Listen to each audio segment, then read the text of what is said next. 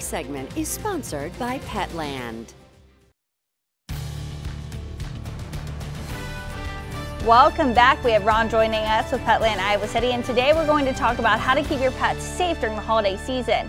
And you know, Ron, I was just decorating this weekend, but a big thing pet owners like myself have to think about is it can be dangerous for your pet.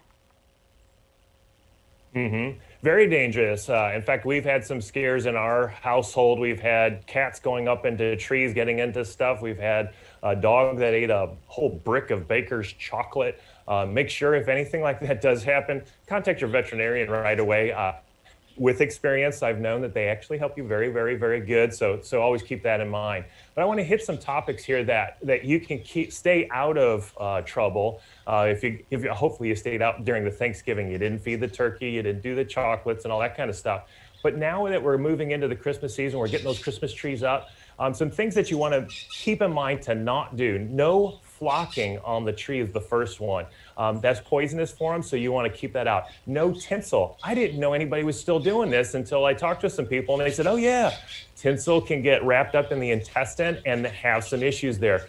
Um, if you've got some ornaments, if and you find that they're getting into them, obviously get those up higher. Get those precious ornaments that you don't want busted. Get those up even higher so that they don't get into it.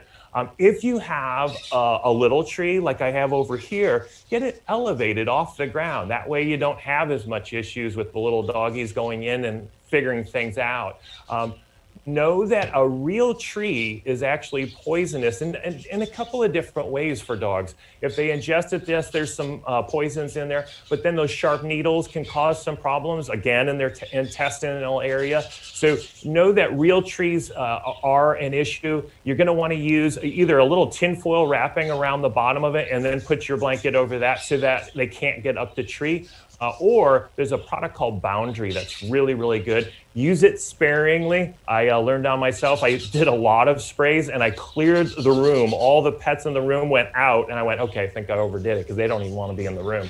Uh, one spray of a product called Boundary keeps them away from the tree, but you're going to have to do it once, twice a day on that. So those are some real good tips. Oh, one last tip no preservatives in the water. My dogs will drink the water no matter how hard I try to keep them away from the water of the tree, they drink it. So don't put those preservative packets in there because those are poisonous uh, for your pets. So those are some ideas, some things that you need to keep in mind this Christmas season. And how important is it to be vigilant with these things? Um, if you're not, I, again, you're going to have those not those unplanned visits to the veterinarian or those call, those panic calls like I've had in the past. You do not want those. You're going to avoid those uncomfortable situations and keeping the Christmas season happy rather than panicky. Okay, perfect. Thank you so much for joining us, Ron. And I love to see the puppy with you today. Always, yeah, I got a guess to say. Always great tips, you know, especially as a lot of people are decorating. If you have any questions for Ron, you can give him a call at Petland Iowa City at the number on your screen. That number is 319 512 7949. As always, the segment is brought to you by Petland Iowa City.